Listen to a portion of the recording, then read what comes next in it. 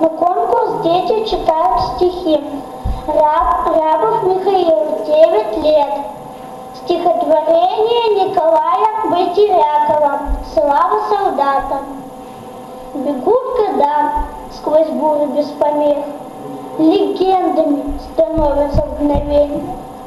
Нам прошлое забыть великий грех, Мы права не имеем на забвение.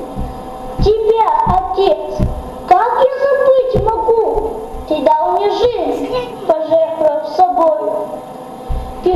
тобой навечно я в долгу За то, что вижу небо голубое.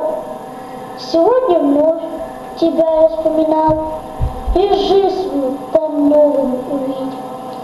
Ах, что-то часто ты мне снится стал.